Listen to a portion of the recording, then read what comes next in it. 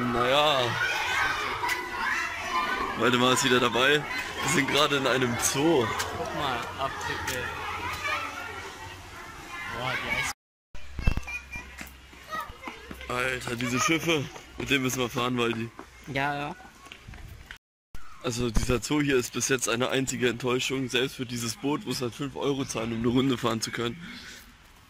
Was willst du jetzt eigentlich von mir?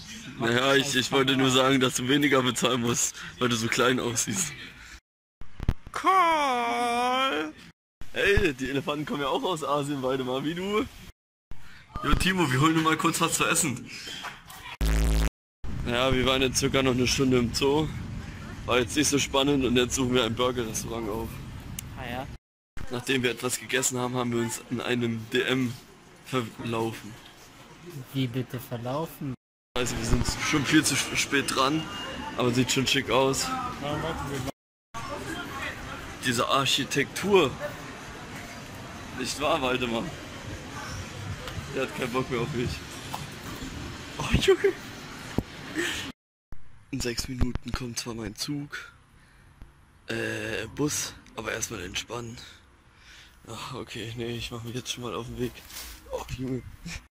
Aber hier, das ist doch mega genial. Hier denkt man irgendwie, man ist mitten in der Pampa so richtig weit rausgefahren. Aber hier ist schon die Hauptstraße, also besser geht's ja gar nicht.